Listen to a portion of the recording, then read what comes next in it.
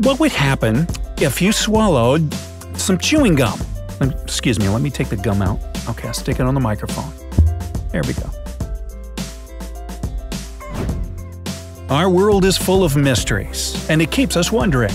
Wondering and trying to find answers to the most important questions. Who are we? Why are we here?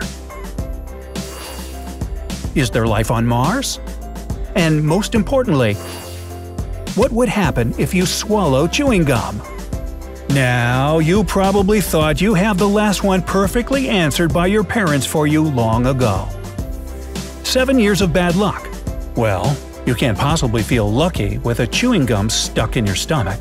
It's exactly for how long you were told it would stay there. Or maybe you don't even have those seven years, because your stomach will explode. And then you did swallow that chewing gum of yours and survived. Were you a lucky exception? Or is it just normal to feel perfectly fine after you swallowed gum?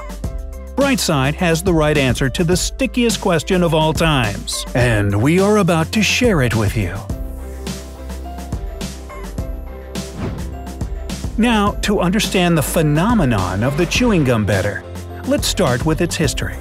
When do you think it first came around? 1950s? Earlier? 1900s? Nope.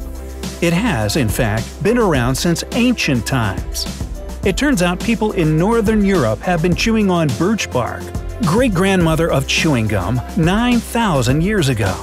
It gave them pleasure and helped relieve toothaches. And wait for it, their bark was worse than their bites. I'm sorry, I just couldn't resist. Something chewing gum like was called chicle and the ancient Maya and Aztecs just loved it. However, only children and single women could chew it in public, while men secretly used it to clean their teeth. Well, that's interesting. Today, we no longer have to hide it, but who knows if it's a bad thing or a good thing. The first chewing gum factory in the world was opened in the early 1850s. Can you guess where it happened? Yes, Willy Wonka's factory. No, no, no, no. It was in the United States, Maine to be more precise. European settlers who started it took the idea from native Indians and first used spruce resin for gum production. However, it didn't taste so great and was soon replaced by paraffin wax. In the 20th century, manufacturing and selling chewing gum became a very profitable business.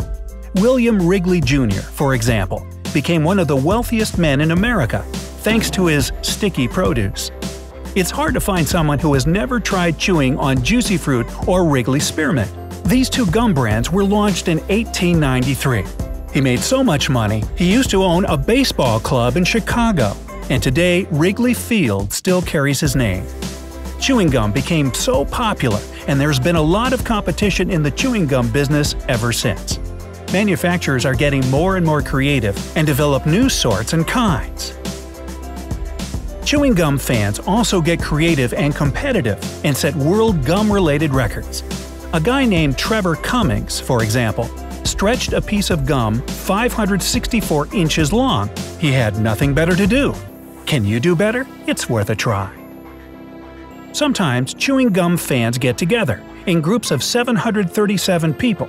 In fact, that was a registered Guinness World Record set in Madrid, Spain, on 27 September 2014. So, how did they get that record? By passing the same piece of gum around 700 times, each chewing in succession?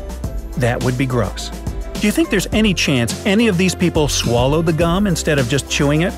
Do you think any of them ended up spending seven years with gum stuck inside their stomachs? We are about to answer that burning, sticky question and find out if it actually burns and sticks at the same time. As its name itself suggests, chewing gum is designed for chewing, not eating.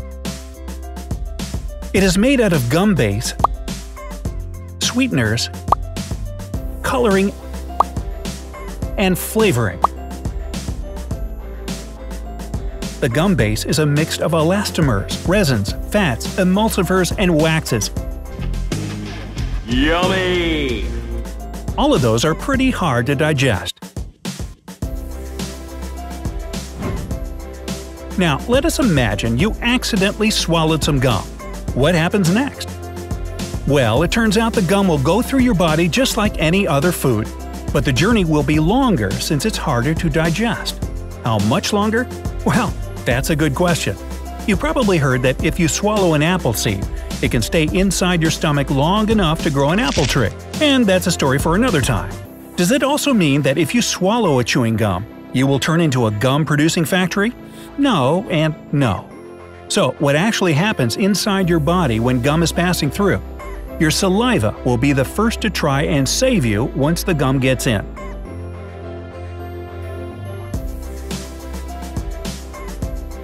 Then your digestive system will do its best to protect you. You remember how it helped you process that steak that you had? Same thing. And it won't let you down in a gum crisis either. Your liver will help to remove the coloring to prevent allergies. Your stomach will use hydrochloric acid to break down sweeteners, flavoring, and the sticky base. Then, a couple of days later, the remnants of the gum will find their way through the intestines and out your body. Easy, naturally, and with no pain whatsoever. In other words, it's official. You will survive. It is hard to say exactly when it will leave your body, because every digestive system has its capability, but it will for sure be sooner than 7 years, 7 months, or even 7 days. Now, does it mean it is cool to chew and swallow, swallow and chew? Mm, not exactly. It won't kill you, but it won't make you stronger either, because it has no nutritional value. Also, if you swallow a huge wad of gum, it'll make you choke, but that is true for any other food, so you should not just be aware of the gum. In extremely rare cases, chewing gum can also cause a plugging in your digestive system. It is more likely to happen to kids because their digestive tract is of smaller diameter than that of adults. So, the best advice we can give you is chewing on your gum for as long as it has that amazing flavor, and then please dispose of properly. Don't just spit it out. Don't stick it under the table or a chair or on that doorknob because you know, what gums around sticks around. Did you enjoy watching this video? I hope so. Then please give us a thumbs up and click subscribe to join us on the bright side of life.